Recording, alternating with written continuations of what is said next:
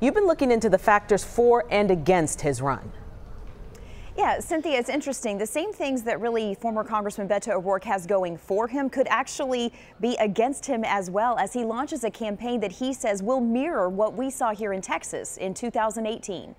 The way that we campaigned for the last two years in Texas, uh, going everywhere, being for everyone, uh, listening to all, um, that's really what I think this country needs right now. We've never been more divided or polarized, more riven by partisanship. Uh, we need to come together, damn the differences, find the things that we share in common, and go after it and get it done. Sure sounds like and looks like the same candidate we watched run for Senate in our state, jumping on countertops, speaking in fluent Spanish at this event in Burlington, Iowa. Here's one difference, though. He was rarely on the attack here in Texas, but today, the first day of his campaign for president, he called out President Trump.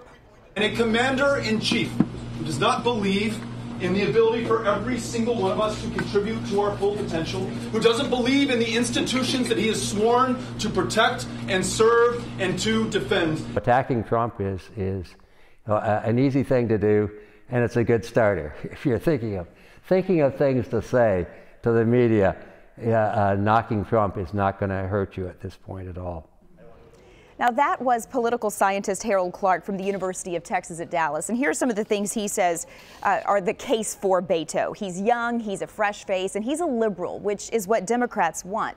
The case against him, though, inexperience, perhaps too liberal to beat Donald Trump in the general election. And then, of course, there is this important point. He just lost a Senate campaign here in Texas.